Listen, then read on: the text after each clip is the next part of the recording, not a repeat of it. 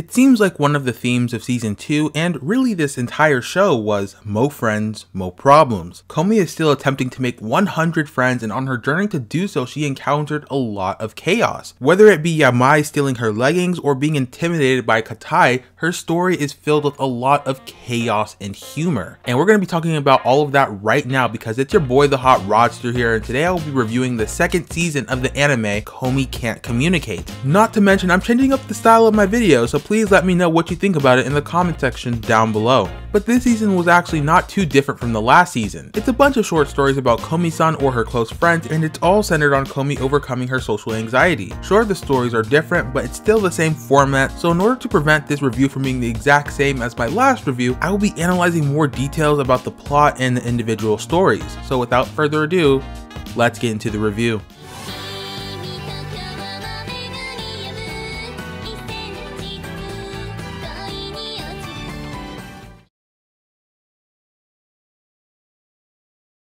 In case you don't remember for some reason, Komi Can't Communicate is an anime about a high school girl who has problems talking and interacting with people. This season started off in a fantastic way with the introduction of Katai Makoto because to me, he was basically just the male version of Komi-san. I honestly felt like I related to his character more than any other in this show. His whole thing is that he wanted to make friends, but he comes off very threatening. It's probably because he's tall, big, and low-key gives off Yakuza energy. But the reason I relate to him the most is because I'm also tall, pretty big, and not not to mention black. Sometimes when I go out for a walk, I see people get a little nervous or scared in my presence. So I somewhat know what it's like for people to judge you based on your appearances before they get to know you. But Katai took it to the extreme because no one wanted to talk to him due to his threatening presence which made it next to impossible for him to make friends, which is why it was so wholesome for Tadano to offer his own friendship, because not only did it demonstrate Tadano's ability to read the room well, but it also demonstrated his kindness and willingness to help others.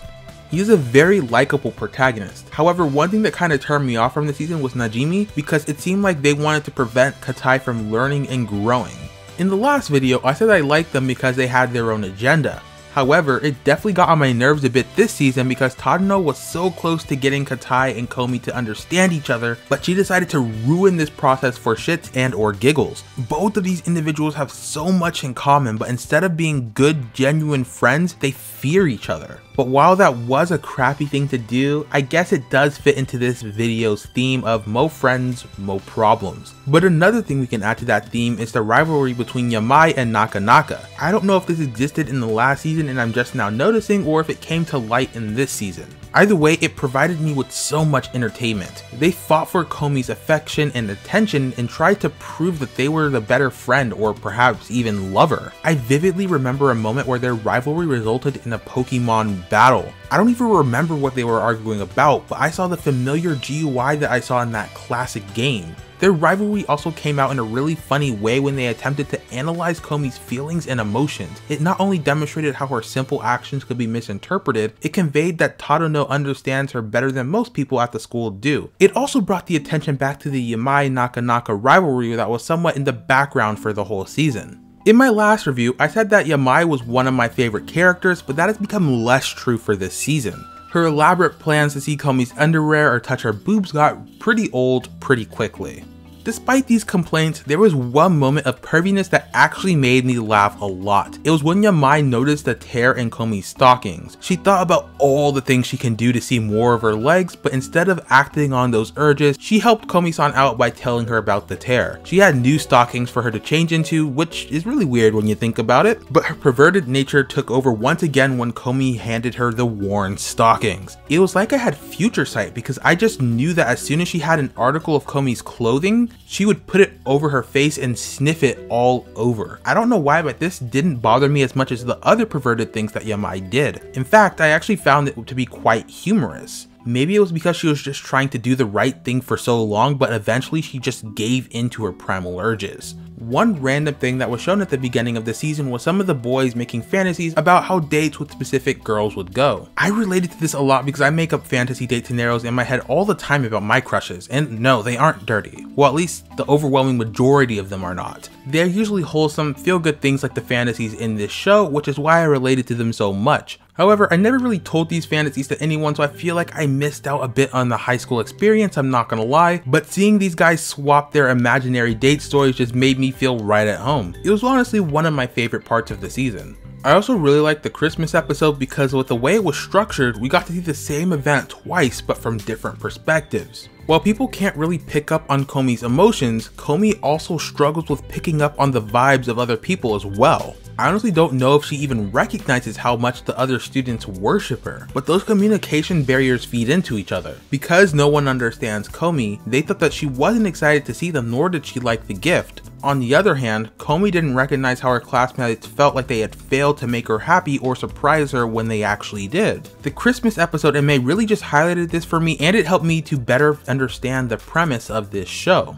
Another problematic character introduced in this season was the narcissist Naruse Shisuto, and I loved him. Some people tell me that I can be a bit narcissistic myself, so maybe that's why I enjoyed this character as much as I did. I just liked how over the top his introduction was. The episode before his character came into the picture, there was a really flashy and epic trailer to prepare for his debut.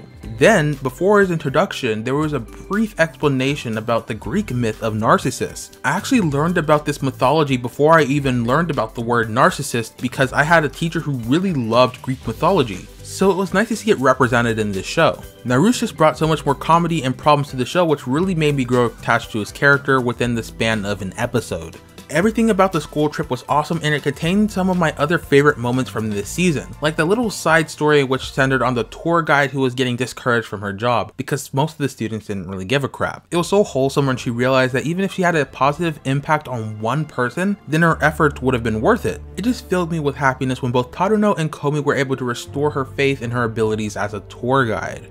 The whole thing with Naruse and Katai was so hilarious. It almost looked like it was straight out of a yaoi, not that I would even know what that looks like. It demonstrated some character growth from Naruse because he was able to acknowledge the strength of someone other than himself. Not only that, but he interacted with a person that most people were too scared to interact with. I believe the whole situation looked really sus without context, but I also think that it was really wholesome as it was the beginnings of a new friendship for Katai. I specifically really liked Komi's journey throughout this trip because she seemed to be opening up more. She participated in a fun pillow fight and she spent a whole day with Kato and Sasaki, two girls who she hadn't really interacted with much prior to this trip. Watching these girls bond over the fun events they had planned to do was just amazing to watch. The group started off really nervous because Komi didn't know Kato and Sasaki and they both feared Komi because they didn't believe that they had the capacity to impress her. But by the end of the day, their friendship was so strong that they were sharing deep secrets like a passion for yo-yos and their crushes. These two new friends also learned that Komi isn't as intimidating as they originally thought, which means that they were actually able to understand her more than most people do, including some of her friends. I know that Komi is going for 100 friends, but I'm honestly not sure if she can have that many good friendships. One thing I noticed was that a lot of the friends she acquired were unaware of her social anxiety and didn't really understand her as a human being. I hope that she eventually realizes that it's not about the quantity of her relationships, it's about the quality. And both Kato and Sasaki are definitely high quality friends. One of the last things I wanted to talk about in this video was the relationship between Tadano and Komi-san. They technically don't have a romantic relationship yet, but it is so obvious that they like each other it's almost too cringe to watch.